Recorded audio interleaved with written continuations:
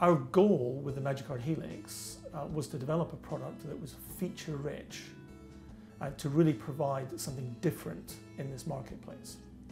One of the things that struck us when we looked at the retransfer market before we started developing the new Magicard Helix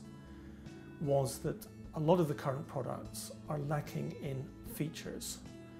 which is quite extraordinary when you consider that retransfer printers are meant to be the very top of the market. But we actually found, if you look at areas like visual security and also ease of use, um, in terms of the, the, user interface, the driver, the display or, or, or, ability to control the printer, I think you'll find the new Magicard Helix printer to be a pleasure to use.